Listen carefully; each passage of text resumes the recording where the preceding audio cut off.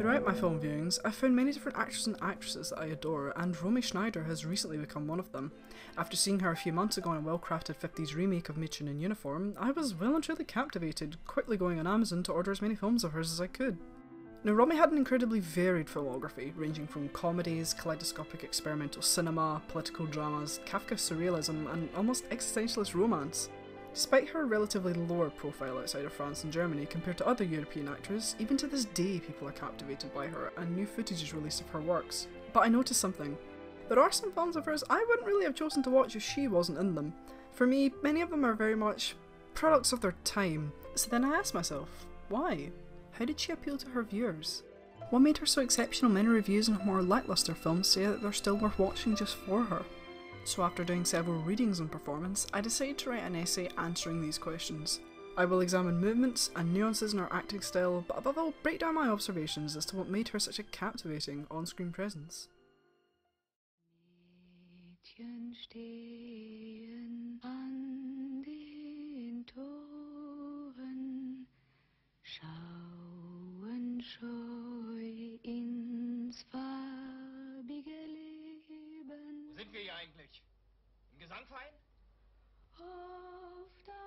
I started off with this song because I feel that moment is just one of the most prime examples of the tenderness she was able to bring to such a simple scene. This film, Group Portrait of a Lady, tends to be considered as one of the more criticised ones I mentioned earlier, but I wouldn't have guessed from this clip alone. By this point in her career, she was playing relatively grounded and realistic characters. This was a serious portrayal of Nazi era Germany, for example. It was heavy material as her first outing to German cinema again after leaving it for a decade, and it could certainly be argued she challenged herself with this role because of both personal circumstance and culture at the time. Post war Europe involved a number of movements in reaction to that generation, and this silence surrounding what happened, and this film was no exception to that discussion, but I won't speculate on her connection beyond that. A similar example can be seen in Death Watch, one of her final films.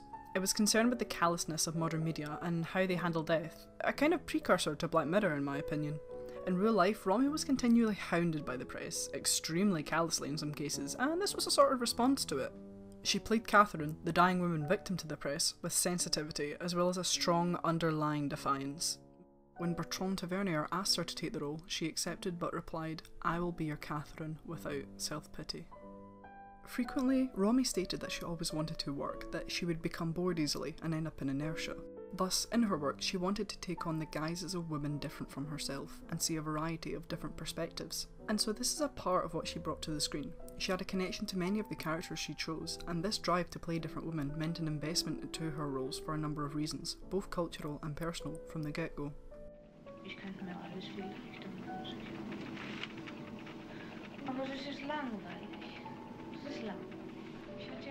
Ich weiß nicht, jahrelang. Ich hätte nur, immer nur Ja sagen müssen. One of the first examples I can see of Romy playing a more realistic character is Manuela in Mädchen in Uniform, the beginning of her transition into more controversial roles.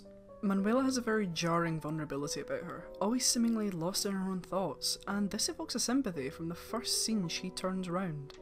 Lass dich ansehen. Sie ist schrecklich schüchtern und sonderbar empfindlich. Romy played this up by tending to look away from others, often up into the air as though Manuela is always thinking and comprehending these new surroundings, or just entirely disengaged out of grief or sadness. Manuela was also quite a shy character, and Romy's body language portrayed this as she was quite inwardly focused, with her hands tending to be nervously in front of her apron, grasping at it. To clarify, I don't think it's great theory to microanalyze small movements because they're usually subconscious, but sometimes it's interesting to shine a light on just a few to get a sense of an actor's rhythm and appreciate their interpretation as a whole. In this scene, for example, she tilts her head up despite remaining still, trying to point her posture towards Bernburg, but knowingly restraining it because Manuela can't express herself fully in the role of Romeo quite yet. And when Bernburg emphasises to her that Romeo is in love, she quickly clenches her hand, like she's caught by that word. Again, I'm not saying they're conscious, but it is these small movements that give the scene the right sense of momentum for what happens next. I believe that thanks to its more serious tone, Romy inhabited the role with much more maturity than she had her once previous. She was allowed to play a character with more depth and examine their struggle more explicitly.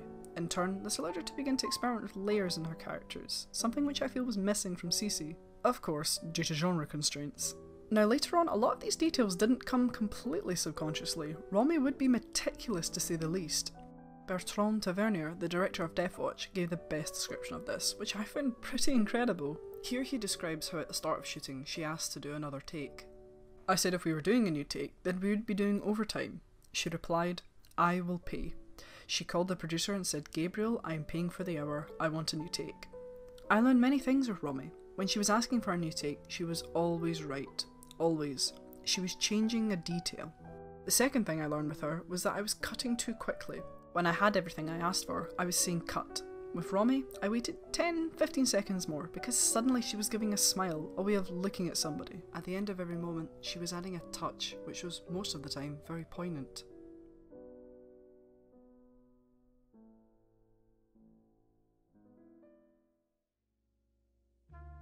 In Boccaccio 70, she plays a drastically different kind of role under the watch of Luchino Visconti. Pupe, the rich wife of an aristocrat in the segment Il Lavoro. She is the classic careless rich girl, and the film always highlights this. She is constantly moving, either talking, gazing at herself in the mirror, smirking, dressing into and undressing from these luxurious designer outfits, and only twice ever having any kind of still reflective moment, the central one being at the very end. To me, she carries Il Lavoro because again there is a rhythm in her movement, there is a beat to her expressions as she has conversations. Romy plays out her every thought almost instantly to the point there's never a dull delivery of her lines. Pupe's movements are open, every single conversation is a variety of facial expressions. Her eyes widen, she changes her voice tone almost theatrically. Her movements are short and fast, reflecting her spontaneous modes of thought, and she expresses with her arms and hands openly. There is a playfulness, but it is noticeably different to her previous more light-hearted roles. It's underlined by melancholy, the results of which can be seen in her still moments where the camera has a close-up of her with tight framing, so the audience isn't in to focus on when she has a moment of sad realization or reflection.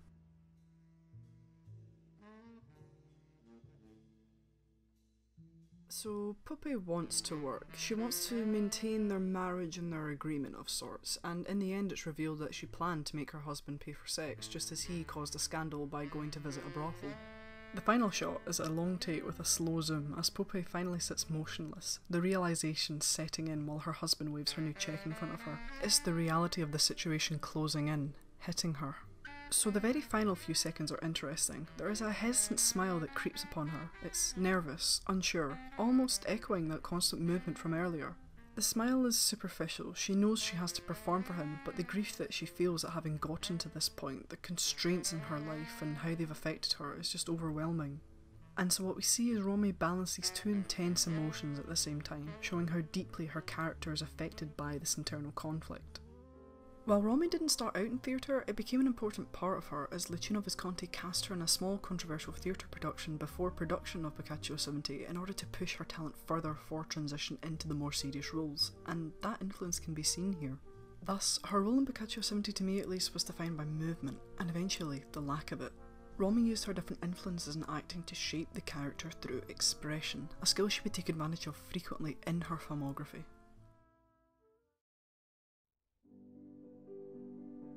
Battle on the Island is notable to me because it showed what she was able to do with a more unsure script. It was an explicitly political film directed by Alain Cavalier at the start of his career and the general French New Wave movement, but the story was not as up to scratch as its aesthetics. It's certainly a piece more based on mood, so it is kind of noticeable that Romy doesn't have as much concrete depth to sink her teeth into as she does with some of her other roles. However, as mentioned, she is still able to stand out.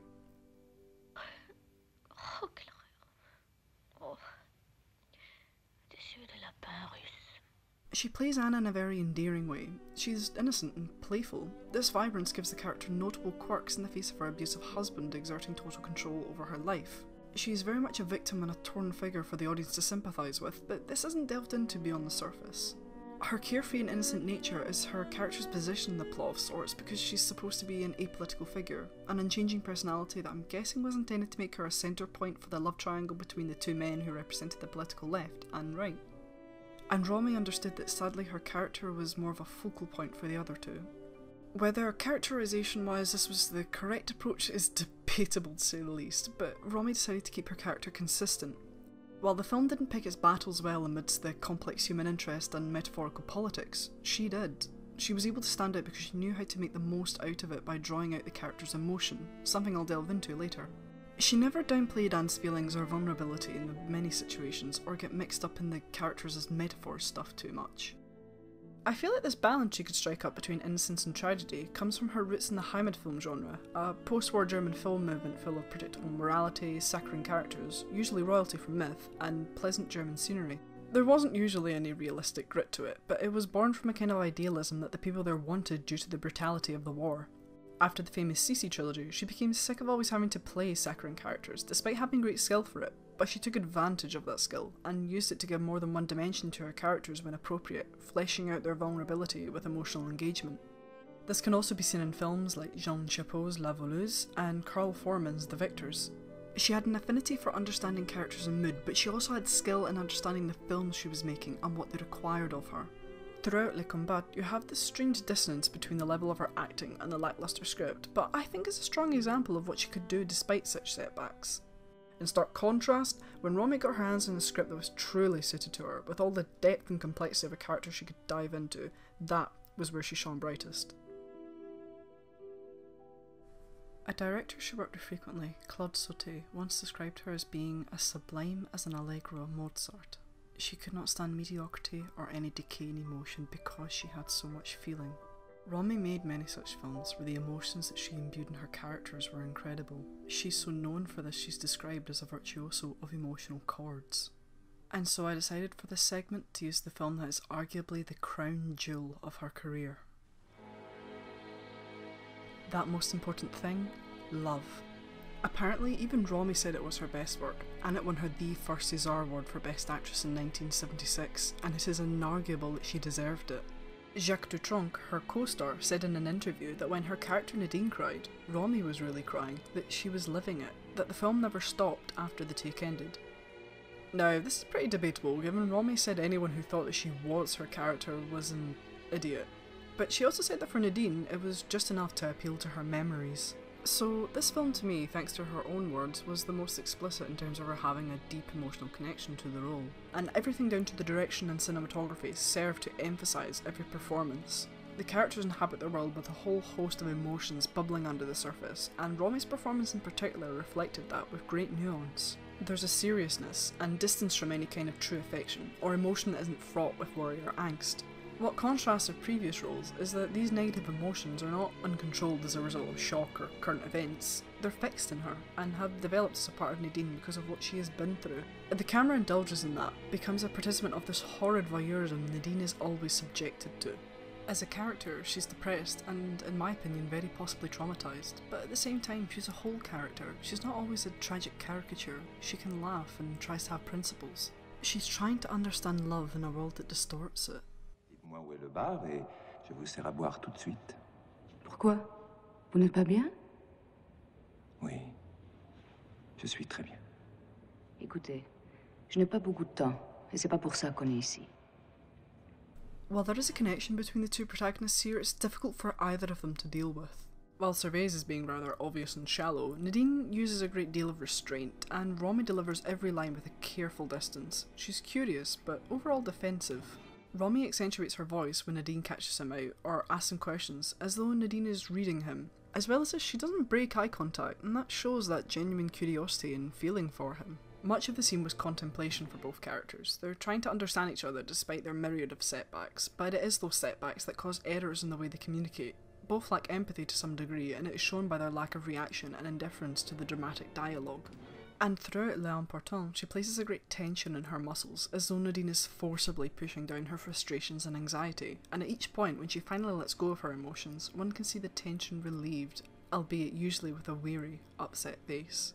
There are several times in the film where she cracks, and in many of them you can see through her movement the subtle build-up of tension until she can simply no longer restrain her anger or upset.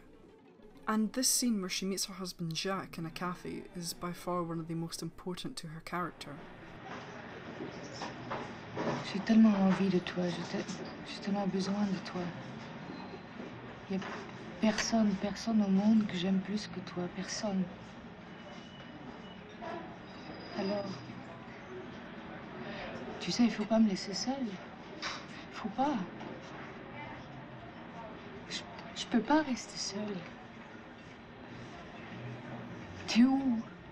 Tu es où? Où? Ici Où, où Je sais pas où tu es. Je peux te donner beaucoup, beaucoup, beaucoup encore, tout. Mais je ne veux pas que. Je ne veux pas sentir que la vie, c'est ailleurs. Je peux pas. Je vais tout faire pour toi. Tout. Tout sauf Sauf quoi vivre. Je peux te dire que je t'aime.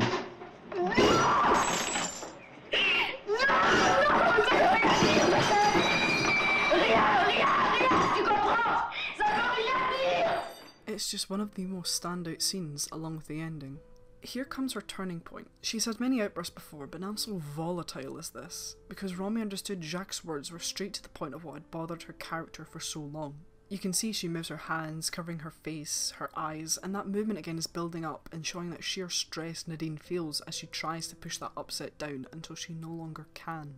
The director Andrzej Żuławski said, I chose Romy Schneider not only because of her talent, but because of the affinity between the actress and the figure she was to embody. Because between her and the person she played, there was always a deep agreement. His words reminded me of ones Jacques Dutronc and the director of Mädchen in Uniform, Arthur Brauner, made previously. And thus I suspect a part of her acting method was to blur the lines between reality and screen a little. But because of her own words, I don't really agree with the very pervasive notion that she totally became her characters. I'd also hesitate to categorise this as method acting in itself, because I'm not sure necessarily if this was her intention. Rather, I revisit my previous statement. She placed a heavy emotional investment in her best roles in order to inhabit them fully. This investment paid off and gave the characters deep emotional depth, but she would always go one step further with an affinity for this great intensity. Perhaps gained from life experience, yes, but always tempered and honed by her hard work and the knowledge of acting she built over her career. Despite the numerous setbacks she experienced, she was incredibly dedicated to acting as a profession and approached many films through friends and connections, so she never limited herself to a particular genre, really.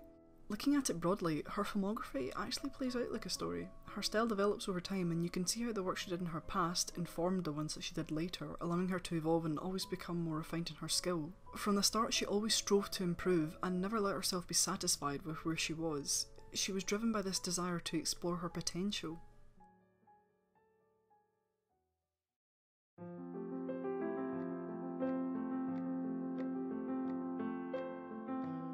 Romy inhabited her roles of understanding and care and imbued them with feeling, with life, many times to the point it transcended weaker scripts and direction, and she could always go a step further, bringing something more than realistic emotion. She was able to bring an unparalleled vibrancy to her roles, which could range from melancholy to joy and still keep all the layers in between because she was a master of balancing both nuance and intensity in feeling. Regardless of the type of role and what it would require, she made the role hers by many times just channeling a great deal of energy into them, including details in her performances that even directors would notice and change their takes for. She knew what kind of momentum each scene required and how to carry that off, and had a great knowledge of cinema as a medium, as well as different kinds of acting across the board. All of these qualities were alongside her natural affinity for the screen, and when it was truly brought to the forefront with solid direction, cinematography, and writing, she created performances that are many times astounding. As an actress, she'll be remembered for her intensity, her magnetism, and a filmography that evolved drastically. She was able to shift into any role she played and gave life to each one with a vivid and beautiful authenticity. As Tavernier said, in terms of emotion, she was wise, she was generous, she gave and she gave, and the audience felt that.